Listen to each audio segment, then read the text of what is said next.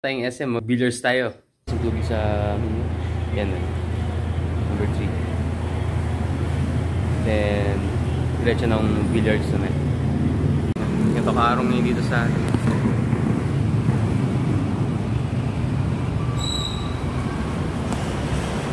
Pasok na ako sa parking. Yan, yung sa magilid ng pole. Yan, SM South.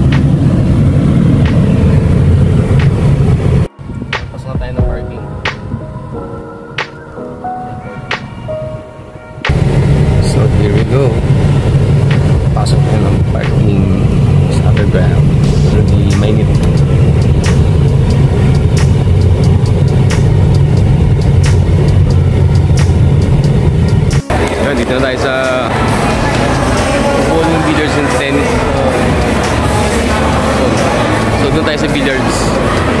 So, ito yung activity na sa bowling, billiards.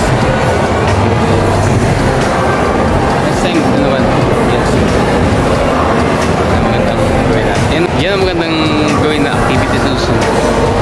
Abangan natin yan sa next vlog ko. Guys, nandito tayo sa billiard zone. So, sa end vlog natin. Okay, tara, come on. Okay, nandito na tayo sa billiards. Start na tayo mag-vlog ng billiards number 2. Mag-break na ako ng ball. So, we're gonna play uh, rotation. So, 1, 1 to 15. So, yun ang rotation.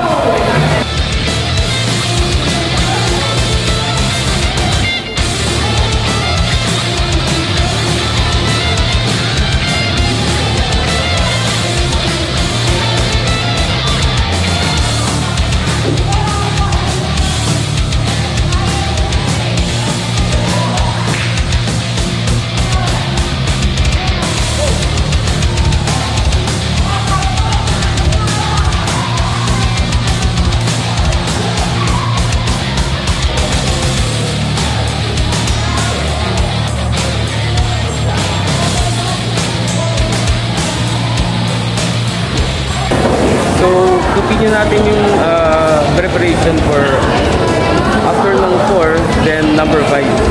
Number 4, after shooting ng 4, so ang target natin, to shoot the number 4 sa side ball, then to be able to, ano, to prepare the number 5, going there to the corner pocket. So yun corner pocket. So gawin natin, i-stop ball natin yung cue ball dito. After shooting ng dun sa may side ball. Okay, let's do it.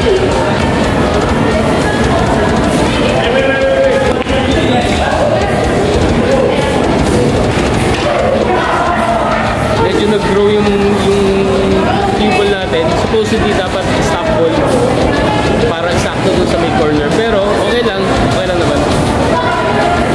So ito na siya ngayon. Yung cue ball, then number 5, two corner pocket.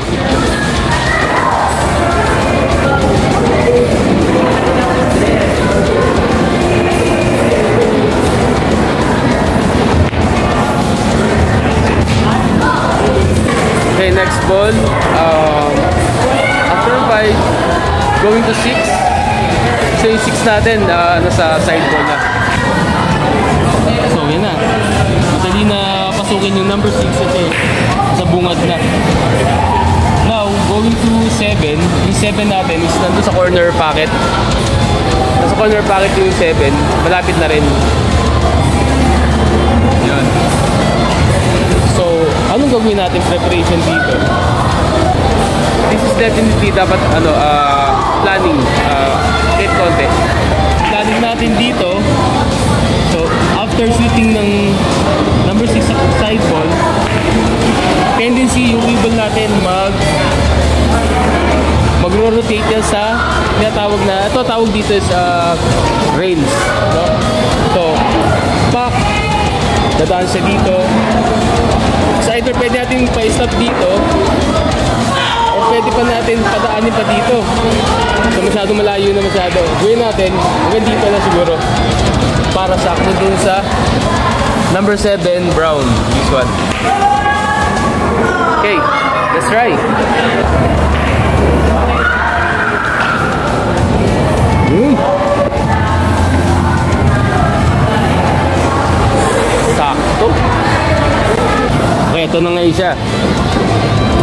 The few ball, then 7 ball. Brown. Papusukin natin sa corner pocket.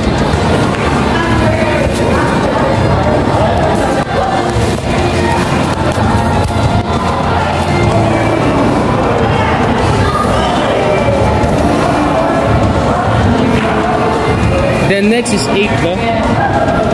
Paano yung 8? Pag pinapasok natin yung 7.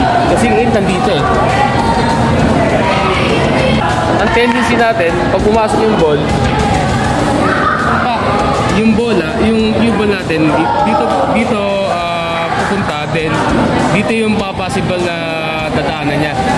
Either na hinaanan natin ng konti, kung sobrang lakas.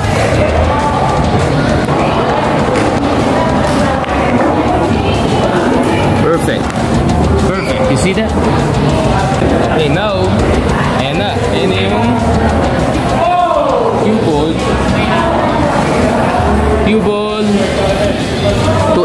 ball going to corner pocket.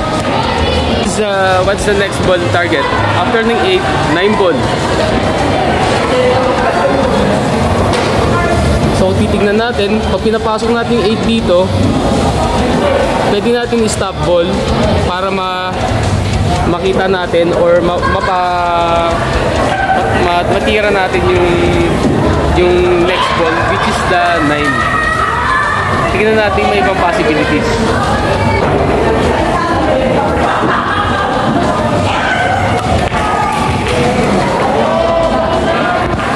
okay good okay pumasok na yung 8 ball let's go na to 9 ball yun na siya.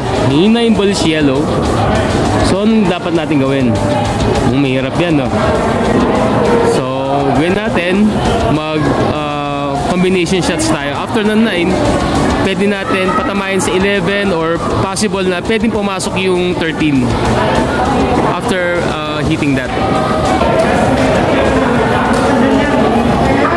Gamit na tayo ng uh, ng English dito sa taas, top or sa, sa Tagalog na tawag na pectus. Sa, sa English is um, um, top English.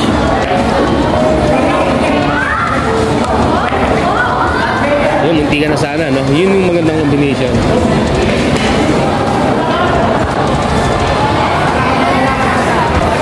Okay, uh, second scenario, for example, uh, our target is 9, then after ng 9, yung 10 is either sa side ball or sa corner pocket.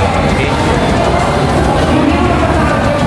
So, pag pinapasok natin yung 9 doon, tendency itong cue ball, pwede natin pa-stop dito or somewhere here para itong 10 going to corner pocket. Or could uh, shoot this one here. Pwede rin. Pero sa nakikita ko, pag pinapasok natin yung 9 sa corner, pinamagandang possibility probably dun sa kabilang corner. Kasi yung, yung magiging uh, movement ng ball natin, pwede mag mag ano dito eh, mag hit mag ano dito, ah, mag mag bounce then going here. Natin ng pag nilagyan natin ng konting draw. Okay, let's try.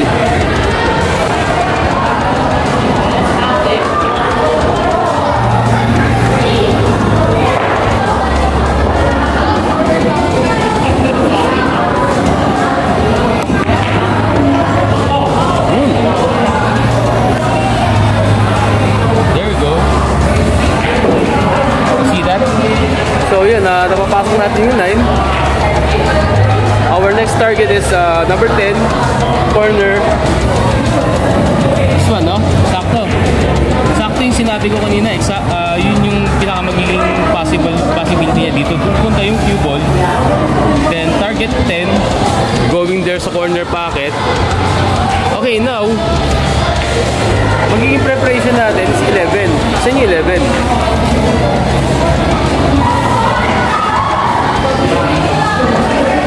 After 10, yun ang plan natin, 11 dun. Okay, let's try. Okay, let's try.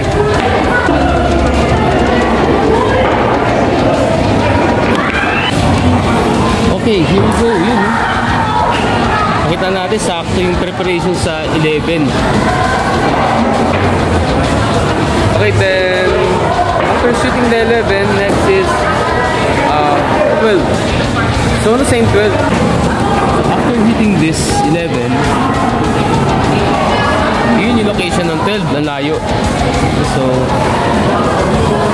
pak, yung mga, mga, mga possibilities is, uh, for example, ito yung cue. So, pag dito, straight dito, pwede na rin punta yung cue ball here. Para to hit the 12 going here. Corner, sa left corner pocket.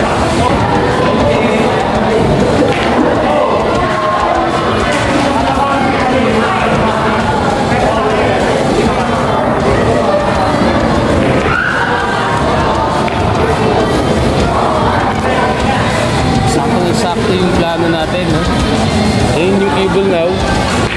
Then 12. Going to left corner pocket. Okay, next one. After ng 12, 13. So this one, 12. Pinapasok mo dito. Then, yung target ball, next target ball natin is uh, 13 going to corner pocket. Then now, 14. Next, so gawin natin, after ng 13, uh, konting stop lang, medyo mahina, para dun sa 14. So next, so lagi natin titignan yung preparation after ng next ball. So, after ng 14, 15. So, ang possibility ng 15 is going to side ball. Okay?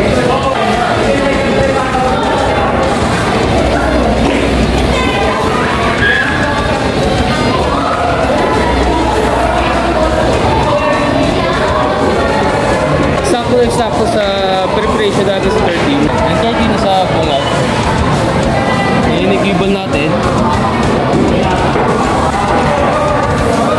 Ayan. So in uh, 13, corner pocket. Then, piliin na natin yung plan natin na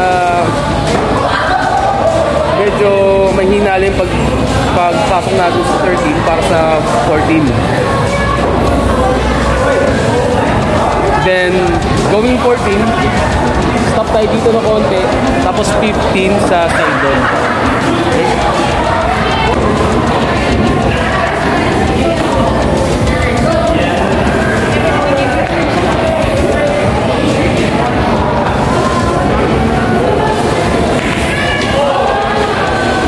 that? So, okay, let, let's go now to 14. Then, to finish uh, after 14, 15. There we go. 14. Up. Then, stop lang yung ball para 15 going sa side ball. Any pinaka possible na madali na pasukin yung number 15 para sa side ball.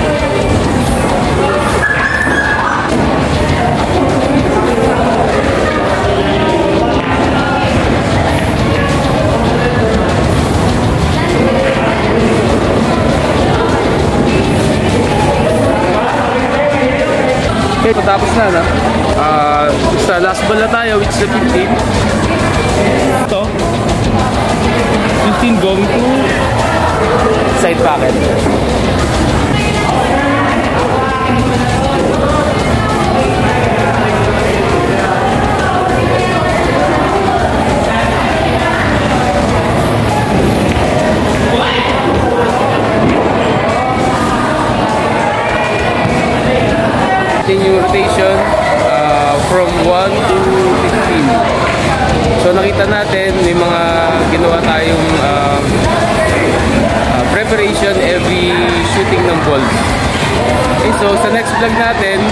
Gawin naman natin yung mga mga English or mga pectus.